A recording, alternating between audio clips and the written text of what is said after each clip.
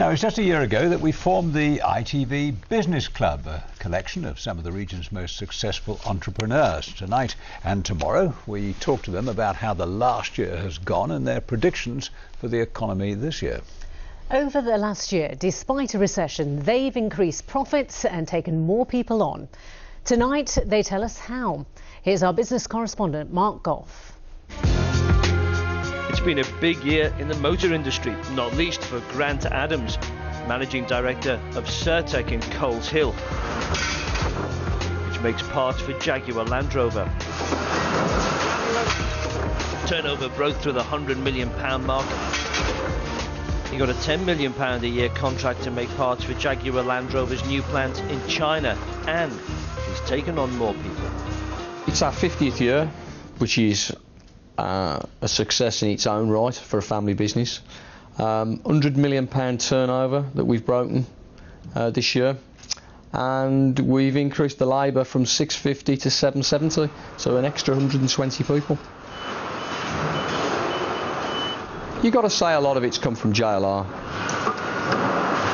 Um, we're hanging on to their shirt sales, um, and it's a good shirt to be hanging on to, to be honest.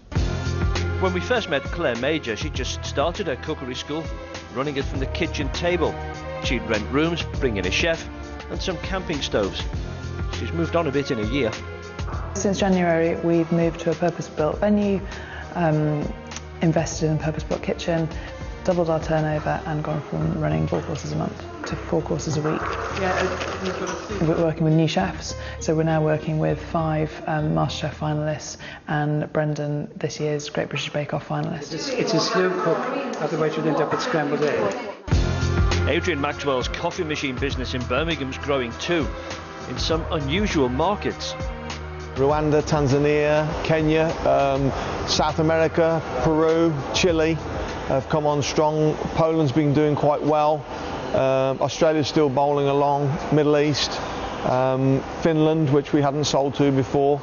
Uh, France doing reasonably well, which I'm quite surprised at. So yeah, a lot of new markets. This year's been a good, another good year for us. Basically, had uh, growth again, uh, month on month since the start of the tax year. So from April on, grew two or three percent each month. A uh, little bit slower in August, but I think that was due to the holiday period. Um, September, October, and November have been fantastic months again. Good export market, good UK market. Taking more people on, another two in the offices, and just taking another two on on the build lines. Um, and a, uh, we're looking for a uh, workshop junior as well to help in the service department. Tim Watts from Pertemps is by far the biggest employer in our business club, payrolling about 30,000 people a week. He's in recruitment, finding jobs for anyone from a lorry driver to a dentist.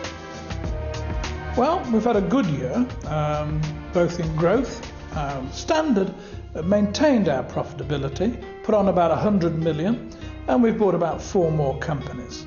Uh, the group is now turning over about 600 million, and we're payrolling about 30,000 flexible workers each week. The business has always been in two parts pertemps, temporary, and permanent. Uh, the permanent side is steady, uh, nothing expansive about it, quite difficult. Uh, the flexible market, the contract market, well, that's just outperformed fantastically. And we're actually short of workers. Coming up to Christmas, we were several thousand qualified workers short. Tomorrow night, more good news from our businesses profits have doubled and we've taken on about another 37 people. So I am over the moon. Their predictions for this year Manufacturing in the, in the West Midlands is fantastic. Everybody I talk to that's subcontracting or making parts for me or other people are all busy. Uh, full order books, which is absolutely excellent. And praise for the ITV Business Club. It's something that all of us in the business club um, were waiting for. Let's, let's give some good news. Let's give some positive news. That's tomorrow. Mark Goff, ITV News. Oh, it's good to get the good news, isn't it? And great encouragement want. for businesses that are obviously trying to do their best this year. Yeah.